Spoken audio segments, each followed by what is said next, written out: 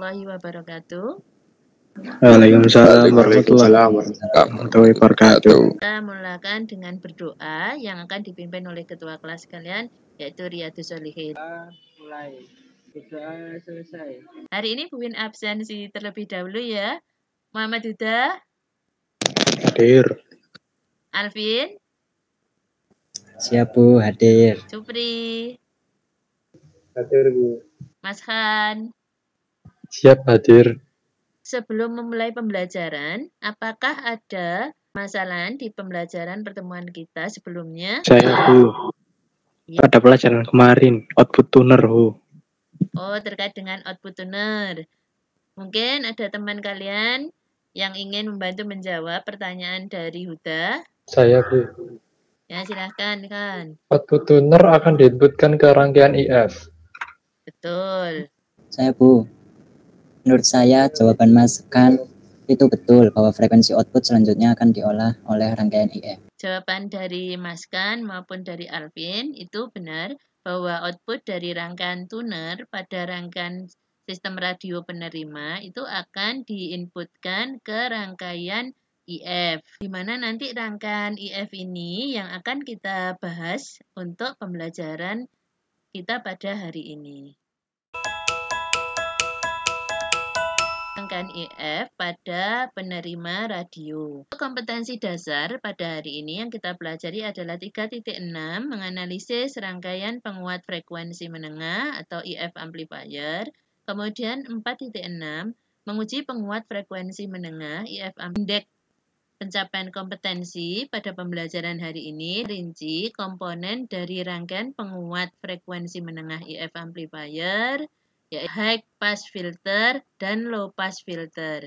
Menguji penguat input dan output dari frekuensi menengah IF amplifier yaitu pada high pass filter pada rangkaian radio penerima, menguji penguat input dan output dari frekuensi menengah IF amplifier yaitu pada rangkaian low pass filter pada radio penerima. Tujuan pembelajaran kita pada hari ini itu mengacu pada IPK. Kalian nanti diharapkan mampu merinci komponen dari rangkaian penguat frekuensi menengah, kemudian juga membandingkan antara high pass filter dan low pass filter dengan tepat, menguji input output dari penguat frekuensi IF pada high pass filter, serta menguji input dan output dari frekuensi menengah dari low pass filter.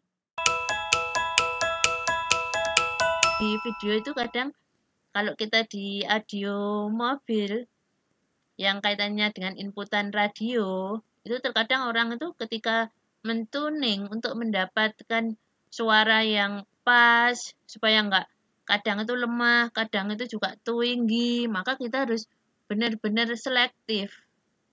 Nah, itu kira-kira apa sih yang menyebabkan hal-hal itu terjadi? Mungkin kalian bisa memberikan hipotesanya. Rangkaian penala rusak bu Oke, dus. Rangkaian penala rusak. Kemudian yang lain? Jawab. DBS. Betul. Pandu. rangkaian. IF Apa, Frekuensi Pak? tidak stabil.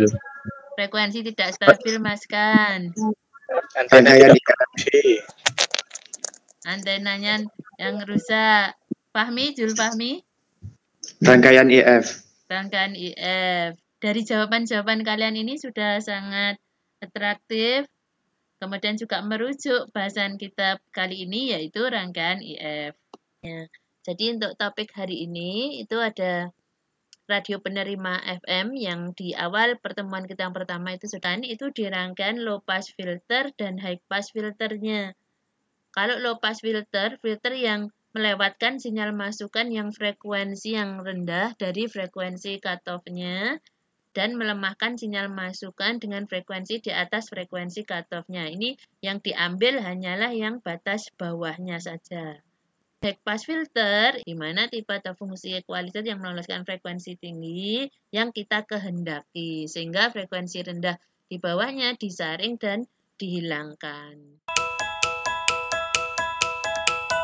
Akan Buin bagi dua kelompok, di mana kelompok pertama yang terdiri atas Huda kemudian Alvin, itu akan mempraktekkan dari tugas LKPD yang sudah Bu Win share sebelumnya.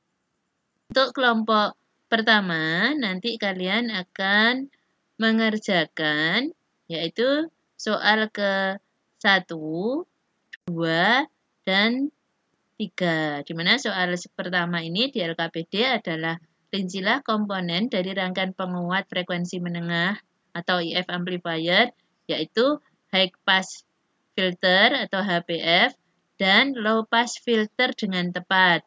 Kemudian yang kedua, bandingkan rangkaian penguat frekuensi menengah IF amplifier, HPF, high pass filter, dan low pass filter. Yang ketiga, uji penguat input dan output dari frekuensi menengah IF amplifier, HPF, high pass filter, dari radio penerima F-nya ada di sini. Ini untuk tugas kelompok pertama. Sedangkan kelompok kedua nanti selain nomor satu dan nomor dua untuk kelompok kedua itu langsung di soal keempat yaitu menguji penguat input-output pada frekuensi menengah IF low pass filter. Silahkan kalian nanti untuk berdiskusi.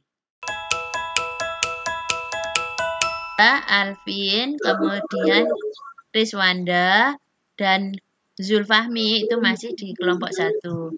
Pri, silakan gabung di kelompok dua.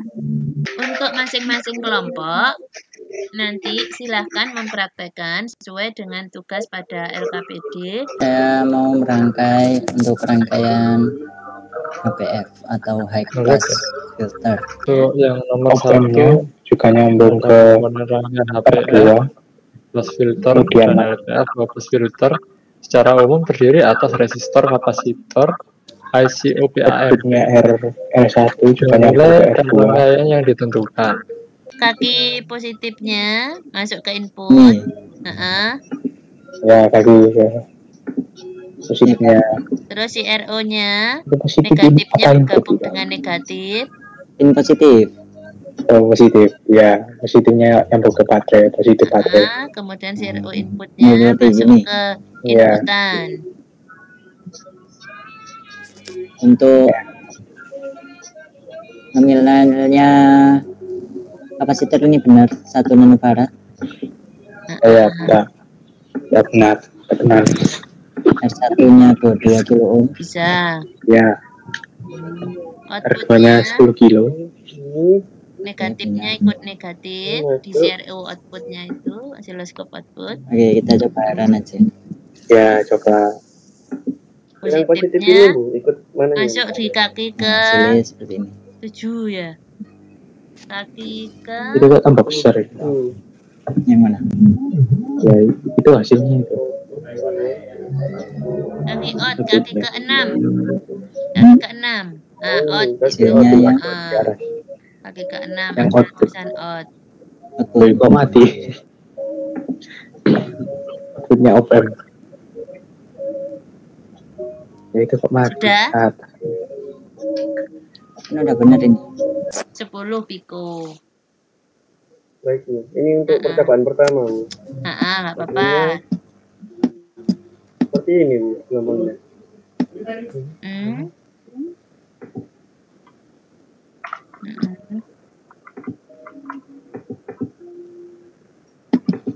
Lepas Oh ya. iya yang baru ada yang baru. 10k. 10k dan 10k. Hmm. Betul, ikut tuh ke sana. Betul. Heeh. Di paralel sudah.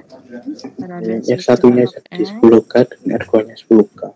Sama. Untuk function generatornya sudah kamu ganti inputannya 10 1 kHz, voltnya DC-nya di nol kan, yang bawah. DC offsetnya 0. Kemudian amplitudenya 2. Amplitudenya bikin 2. Heeh. DC offsetnya 0. DC offsetnya 0.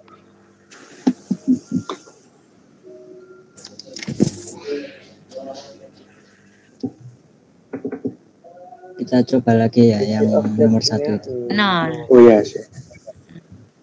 Amplitudenya dua ya. Nah, bu. Ya, yang nomor satu. R satunya 10K. Ini. Untuk temper diff-nya satu second. heeh. Kemudian hasilnya 20,20 volt bu. Heeh. Itu data itu dimasukkan di LKPD. Itu sepertinya Mas kan sudah mulai menginputkan ke LKPD-nya. Yang L2 Kemudian Sama bisa 10K. dimasukkan terlebih dahulu. C. Oh, Mencari yang nomor satu dan nomor dulu dua. Dari Ya, itu Zulfami sama si Rizwanda satu browsing nomor 1 2. Sambil berdiskusi, jangan lupa menyiapkan hasil diskusinya ya sebagai laporan nanti presentasikan. Ya, Mas. baik-baiknya. Kelompok kedua mempresentasikan terlebih dahulu. Nanti anggota kelompok bisa saling menguatkan. Silakan dari kelompok kedua. Nanti setelah itu baru kelompok pertama. LPF Focus filter secara umum terdiri atas resistor, kapasitor, IC, OPA, Hasil dari pengujian soal nomor keempat pada LKPD ya. ya, Anggota lain yang ingin menselarkan dari kelompok dua, silahkan mempresentasikan hasil diskusinya. untuk jawaban dari nomor satu HPF atau high pass filter dan low pass filter atau LPF secara umum terdiri atas yang pertama yaitu resistor, kedua kapasitor, yang ketiga yaitu IC op amp, dan tentunya dengan nilai dan rangkaian yang ditentukan. Yang nomor dua yaitu bandingkan rangkaian penguat frekuensi menengah HPF dengan LPF. Rangkaian penguat frekuensi menengah meloloskan frekuensi high atau tinggi frekuensi yang kita kehendaki, sehingga frekuensi low atau rendah di bawahnya disaring atau difilter dan dihilangkan. Hasil percobaan membuktikan perubahan pada R1 akan mempengaruhi frekuensi cutoff yang menghasilkan hasil percobaan sebagai berikut.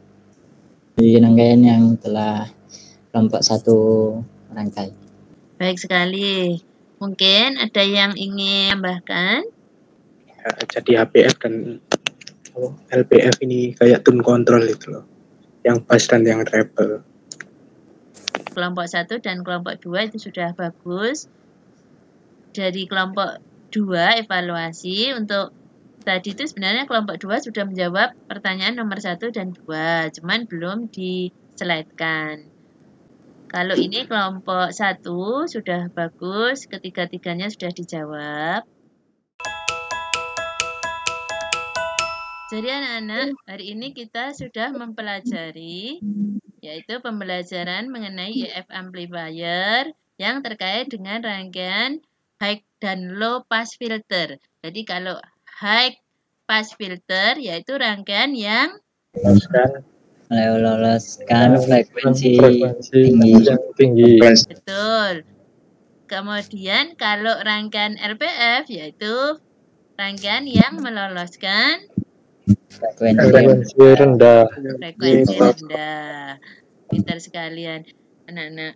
Untuk soal yang ada di LKPD, jangan lupa anak-anakku untuk diisi LKPD-nya dan dikumpulkan sebelum kita pertemuan yang mendatang ya. Oke. Yang sudah kalian kerjakan secara kelompok itu kalian kerjakan secara mandiri dan dikumpulkan sebelum pertemuan yang akan datang. Sehingga silahkan sebelum Buin mengakhiri mungkin ada pertanyaan? Tidak ada. Tidak, Ada. Oke. Bu. Udah, tolong ditutup hari ini dengan doa penutup. Marilah kita berdoa untuk mengakhiri pelajaran pada sore hari ini. Berdoa mulai. Doa selesai. Terima kasih. Sampai ketemu di pembelajaran berikutnya. Bu Win tutup pembelajaran hari ini dengan ucapan Assalamualaikum warahmatullahi wabarakatuh. Jaga selalu kesehatan. Waalaikumsalam. Waalaikumsalam warahmatullahi wabarakatuh. Terima kasih.